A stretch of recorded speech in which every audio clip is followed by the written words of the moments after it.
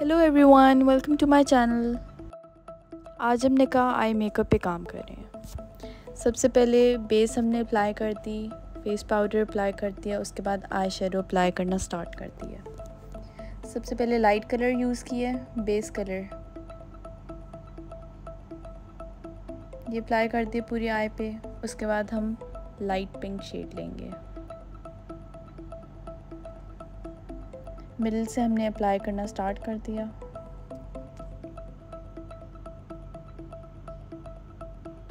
हमने पूरी आई पे अप्लाई कर देना है। इवनली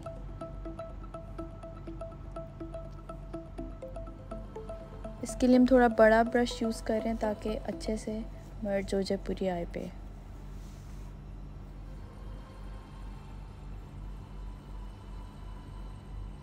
ये हमारा पिंक शेड हो गया। इसके बाद हम यूज़ करेंगे ग्लिटर सिली 18 ग्लिटर है। वाइट कलर की ग्लिटर है। इसके अंदर हम दूसरा शेड मिक्स करेंगे पिंक शेड शेड नंबर 104 ये पिंक शेड है हमारा। इसको हम वाइट के साथ मिक्स करेंगे अब। थोड़ा सा मिक्स करेंगे। ताकि लाइट पिंक सी टोन बने हमारी।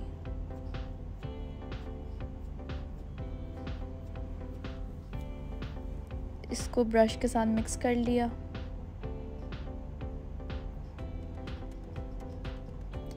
मिक्स करने के बाद हम सबसे पहले ग्लू अप्लाई करेंगे अपनी आईलेट पे। राउंड शेप में हमने ग्लू अप्लाई करनी है।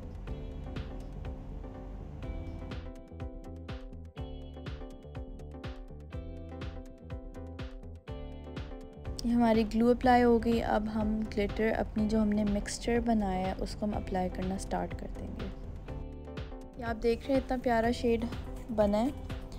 पिंक और वाइट ग्लिटर को मिक्स करके। इसको आईलेड एरिया पे हमने अप्लाई कर देना है राउंड शेप में।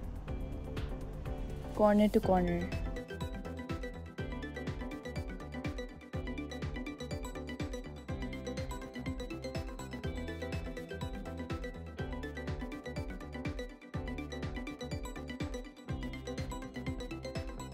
जो एक्स्ट्रा ग्लिटर पार्ट है, वो आपने साथ साथ रिमूव करते जाना है ब्रश के साथ। अपनी फिंगर यूज़ करने हैं, नीचे आई शेडो के साथ ग्लिटर मिक्स करने में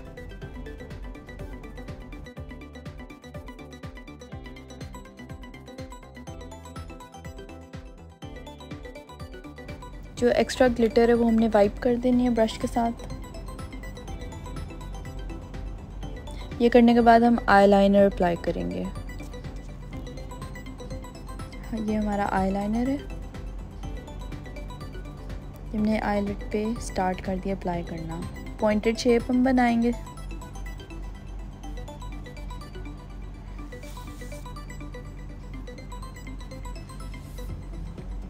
ये हमारा निकाह आई मेकअप है। सॉफ्ट ग्लोई सा।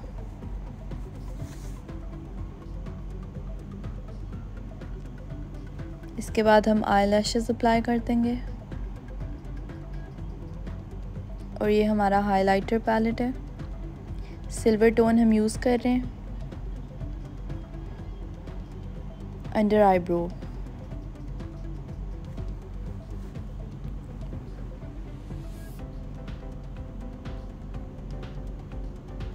ये हमने अच्छे से अप्लाई कर दिया। और ये हमारी लुक कंप्लीट हो गई है।